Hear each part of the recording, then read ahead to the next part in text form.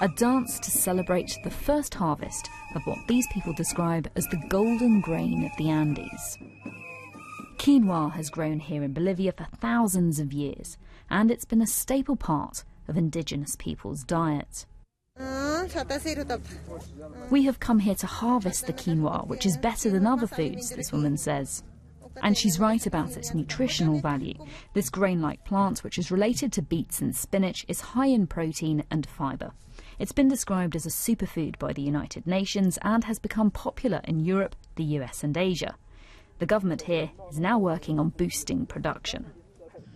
In the next 10 years, we want to cultivate 1 million hectares to produce a million tons of quinoa, because that harvest will allow us to generate $1 billion for the country. Bolivia produces most of the world's quinoa, and producers here have been offered financial incentives by the government to increase their yields. And it's been working. While the country had produced 30 million tonnes of it in 2011, that figure had risen to 50 million tonnes last year, 26 million tonnes of which were exported abroad. Rising demand abroad, though, has meant higher prices at home, which has led many families in Bolivia to start growing their own. But the UN thinks that these seeds, which are resilient to droughts and poor soil, could be the answer to the world's food security. Susana Mendonça, BBC News.